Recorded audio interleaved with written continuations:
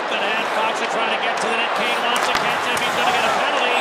Patrick Kane did a great, now it's going to be a penalty shot.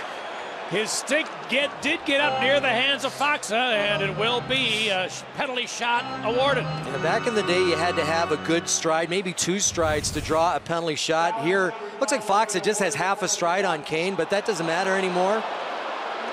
You stop a great breakaway chance. Watch this stick of Patrick Kane come into the hands. No, not quite the hands, but high enough on the stick, and let's watch it. Here it is, Faksa's first career penalty shot, and he stepped it by Crawford's stand-up style.